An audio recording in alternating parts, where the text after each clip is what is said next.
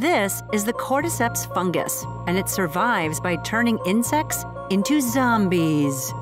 Not that kind of zombie, but it's pretty rough, not gonna lie to you. Animal zombies don't eat their family and friends. They lose control over their bodies and behavior when infected by parasitic fungi called cordyceps.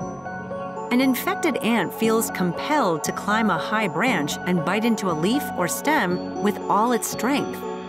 The growing fungus spores eat up the last of the ant's internal organs as it stays in place, anchored by its bite. This vantage point offers optimum light and humidity for the cordyceps to mature over the next three weeks. The ant eventually dies and the fungus blooms out of its head.